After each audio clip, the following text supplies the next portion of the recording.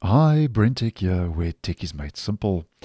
So, Microsoft has also rolled out a brand new Windows 11 Insider Preview build to the Canary channel uh, late last week, which is build 26,200. And you will notice that there is a build number change and a build increase, which is quite important because this is the first Canary channel release, as I have been posting in the last couple of weeks, that has not been joined by a preview build release for the dev channel, with Microsoft saying from the release notes for this latest build, with the Canary channel moving to a higher build number, the window closes on being able to switch to the dev channel without doing a clean install of Windows. So take note of that. That's a very important point.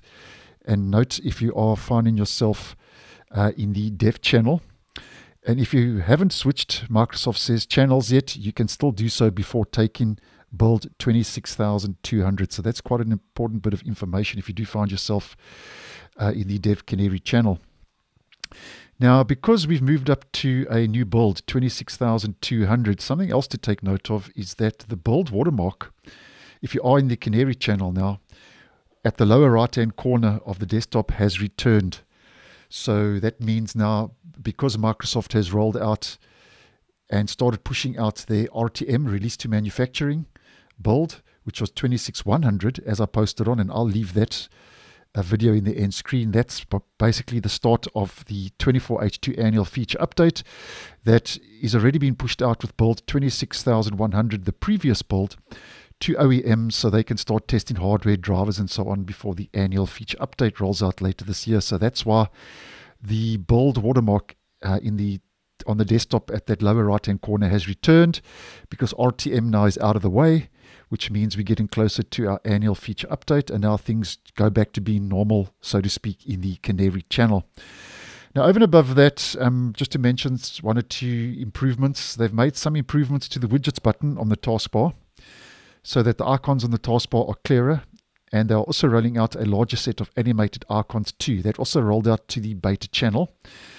And then Microsoft mentions that after trying out a different design for the energy saver icon in the system tray a few months ago for PCs that are plugged in and do not have batteries, such as desktop PCs. They've reverted to the they've reverted the design, as we can see, back to the leaf icon a few builds ago. This change is also now present in build 26100. So that's listed as a change and an improvement. And that's it, guys. That's more or less what's happening now in the Canary channel for last week. So, because as mentioned, the so called 24H2 features have moved away now from Canary channel more into dev and beta.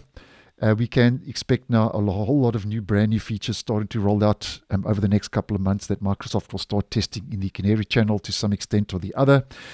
And because um, it's early days, they've rolled out a couple of fixes for known issues. And then because it is early days and the Canary channel is very unstable, there are a couple of new known issues, which is common in these early uh, preview builds, especially the Canary channel. So I think the big one of this is that the window closes on being able to switch to the dev channel without doing a clean install of Windows.